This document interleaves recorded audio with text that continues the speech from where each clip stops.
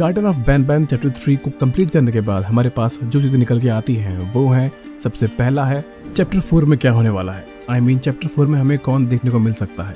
Chapter three के end में white board पे लिखा हुआ था जस्टर के बारे में या फिर शेरिफ के बारे में और मेन थिंग था किंगडम के बारे में।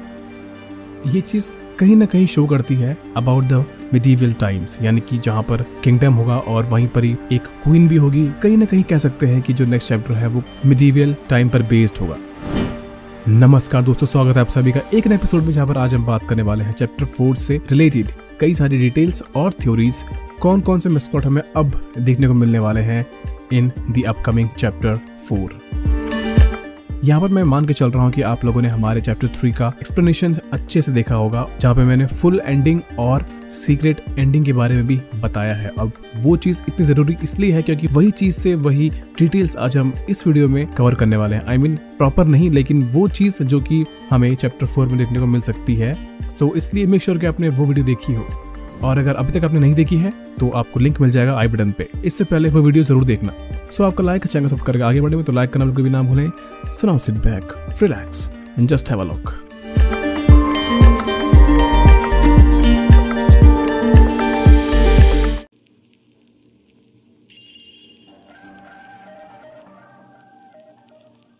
लेकिन आगे बढ़ने से पहले big thanks to our channel members this stroke Greek god lethal Kratos shadow pro और अगर आप चाहते हो हमें सपोर्ट करना तो आप बहुत ही इजीली कर सकते हो। चैनल पे दिए गए ज्वाइन बटन पे क्लिक करके जहाँ पर आपको मिलता है हर वीडियो का अर्ली एक्सेस और भी ढेर सारे बेनिफिट सो जाने से पहले एक बार ज्वाइन बटन का चक्कर करना बिल्कुल भी ना भूले। आइए फिर। Garden of Banban chapter three के एंड में जहाँ पर हमारी बॉस फाइट होती है चमाटाकी और टमाटाकी से आई I मीन mean, वो टू फेस टर्टल वहाँ पे जब हम उसको डिफीट करते हैं तो वहाँ पर हमें एक नोट मिलता है। I mean not a note but एक पेज मिलता है, जहाँ पर कुछ फ़ोटोज़ होती हैं मेस्कॉट्स की, जो कि हम देख पाते हैं ऑलरेडी इस गेम में, जो कि है वो दोनों टू फेस टर्टल्स और सॉल्फियस जो कि हम अब तक देखते आ रहे हैं। लेकिन वहीं पर ही हमें एक और मेस्कॉट देखने को मिलता है।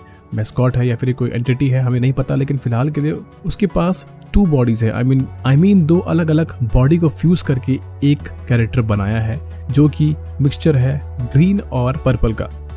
और हम देख पाते हैं कि अभी तक हमें पूरे गेम में ये वाला जो मेस्कॉट है, ये वाला जो करेक्टर है, वो हमें देखने को नहीं मिला था। लेकिन बॉस फाइट के बाद ये नोट मिलना उसके बाद चैप्टर थ्री में आई मीन चैप्टर फोर का जो टीजर निकल के आया है उसमें भी हमें यही दोनों शख्स दिखाए गए हैं। आई मीन वही सिंगल शख्स दिखाया गया है जो कि दो बॉडी से बना है।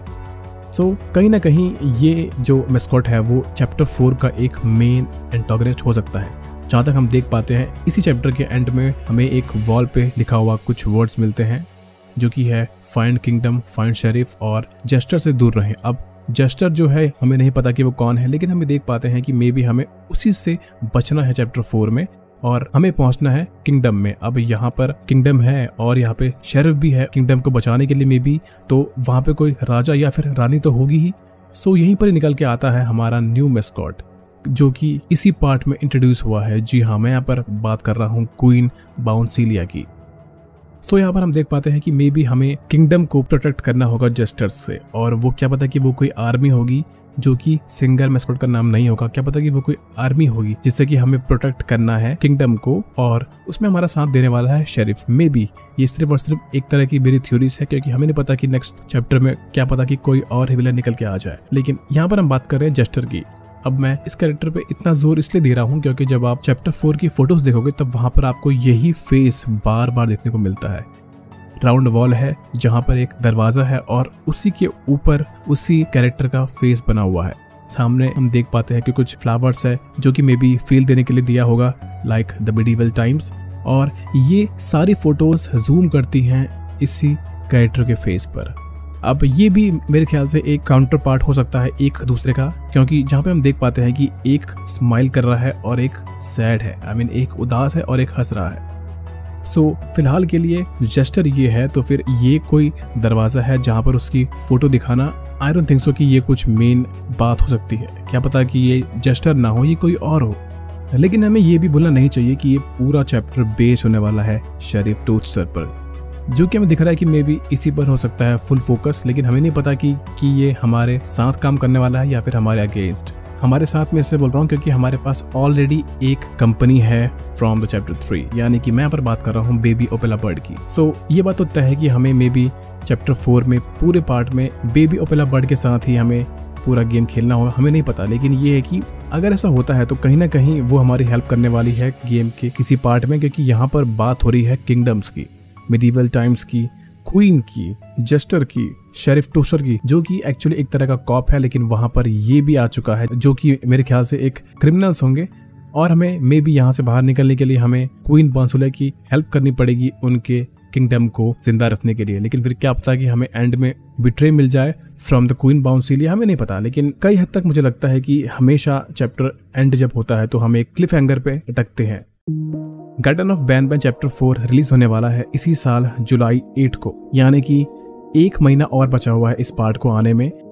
जहाँ तक बात रहे नाम की तो जी हाँ बैन बैन तो रहेगा ही, क्योंकि वो इस पूरी कहानी का main I think main focus है।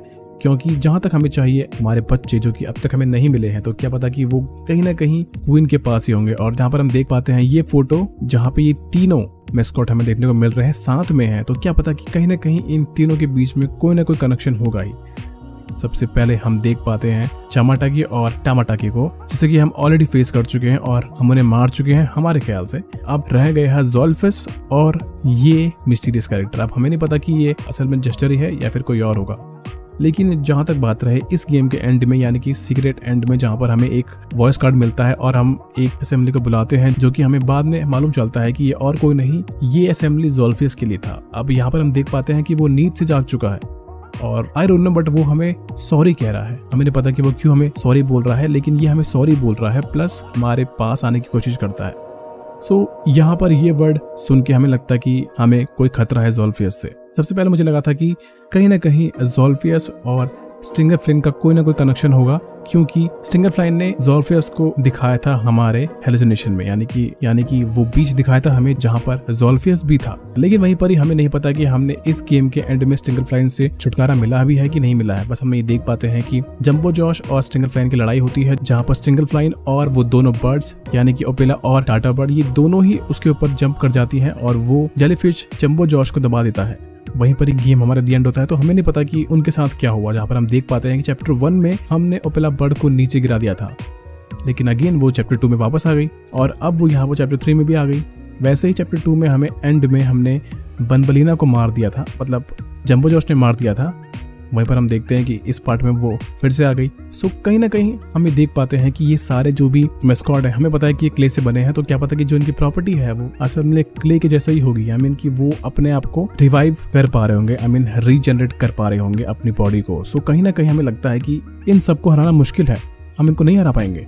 बस यही देखना है हमें कि जो हमारा प्लेयर है आई मीन जो भी वो वुमेन है वो अपने बच्चों को किस तरह से किस हालत में यहाँ से बाहर निकलवाती है निकालती है इन सभी से बच के क्योंकि हम देख पाते हैं कि इन सबको मारना मुश्किल है।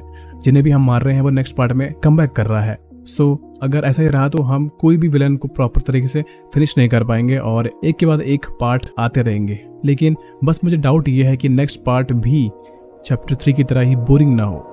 जो लोग मुझे कमेंट कर रहे हैं कि भाई आपको इस गेम के बारे में ऐसा कुछ नहीं बोलना चाहिए तो गाइस मैं ये नहीं मानता। जो भी रिवर्स होते हैं या फिर जो भी चीज़ को वो लोग यूज़ करते हैं तो उसका वो रिव्यू देते हैं। वही मैंने भी दिया है चैप्टर थ्री को। रियली में मुझे गेम अच्छा नहीं लगा है। बस अगर एंड का सिक्वेंस में हटा दूँ तो ये गेम पूरा का पूरा ज़ीरो है। कहानी के मामले में भी और गेम प्ले के मामले में भी। लेकिन हमारी आदत है थ्योरीज निकालने की थ्योरीज बनाने की तो हम इस कहानी को लेकर भी थ्योरी बनाएँगे, चाहे कहानी कैसे भी हो। बट होप्स हो कि इस पूरी सीरीज़ का जो एंड होगा, वो बहुत अच्छा होगा और हम सेटिस्फाई कर पाएँगे कि हमने सारी सीरीज़ को इस चैनल पर कवर किया है या फिर गेम प्ले किया है।